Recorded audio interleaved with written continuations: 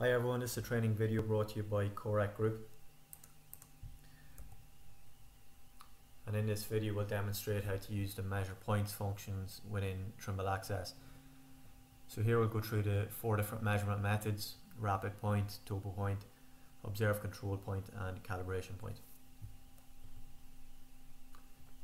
For other similar videos to this on Trimble Access, be sure to check out our YouTube channel there, KOREC Training and Support and also feel free to browse our website at korecgroup.com.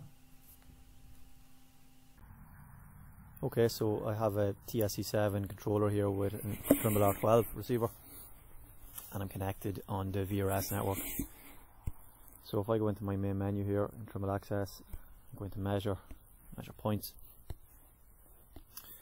Let's explore the different methods available. So let's start with a rapid point.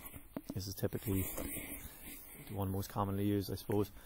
Um, so your point name is usually just a numeric, numeric value, a, a number to indicate um, the unique point name. Um, code is um, is taken from the feature code library. So say for example, um, we want to find the spot level here. Your code can be searched by code or description. You can see there you have two columns. Um, so maybe if I wasn't overly familiar with the abbreviations in the library. I could search by description and type in spot and it's searching in the description field rather than the code. Or if I was familiar with the abbreviations I can just go straight in and type in the code SL and it'll pop up. So method we'll go with rapid point for the for the first one and um, I'm going to set my pole height here, my detail pole to 1.8 and that's always measured to bottom of quick release. Alright, so measure a couple of points Observation here. stored.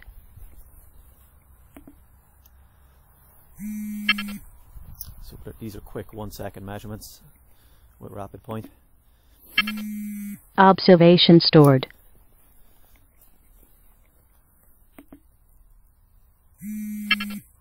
Observation stored. Notice the, the point name incrementing as I as I take the points. Okay, so um, let's switch to maybe a topo point next. Um, we can just use spot level again maybe. I take a couple of measurements using topo point. Observation stored. So topo point um, by default will take three measurements and average them out so it's just that little bit more accurate. Um, you can change this if you go into options and you can change the occupation time here. You can see it's set to 3 seconds there number measurements 3 and you can also check the box to auto store the point which will automatically store at once that time elapses. So that can be all changed in the options for each measurement method measure one more point here on topo. Observation stored. Okay. So let's move on to observe control point next. Observe control point would be typically used for control points. Um, so we'll either clamping a bipod onto the detail pole and setting the receiver there for a, you know a few minutes to, to get as many measurements and um, make it as accurate as possible I suppose. Um, so say for example our point name here is going to be S1 for station 1 and our code is going to be STN for station.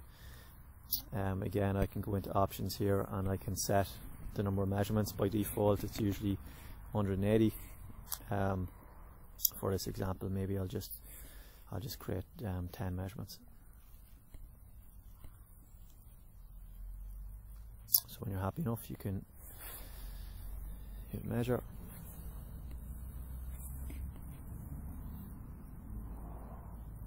you can see the time so far and the epochs remaining down the bottom right there. So with some of the feature codes in our library we've attributes associated with them. Um, so you can you can pick you know your your station type it be a Hilti nail or you can put in comments can also take photos using the, the icon down the bottom of the screen here.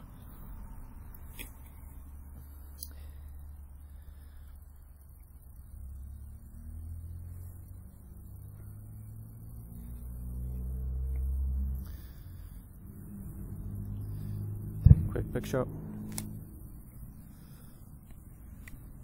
And that photo is linked then to the to the point here for the station.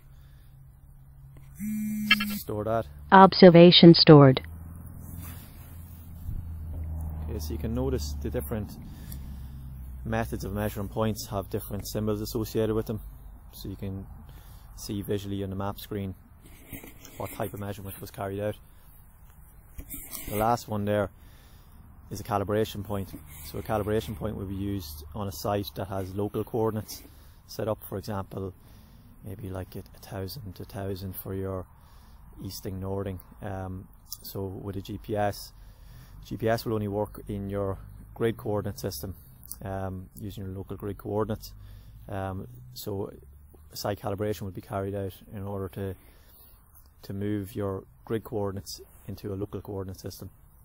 So if you were doing that, your grid point name would actually be your local coordinate entered in here is usually attached as a CSV file and then your GNSS point name is the actual measurement in your grid system of that point and once you typically you'd measure maybe at least five control points here on a, a site calibration um, and then it'll perform an adjustment and transformation and it'll create um, a local site coordinate system for that particular site.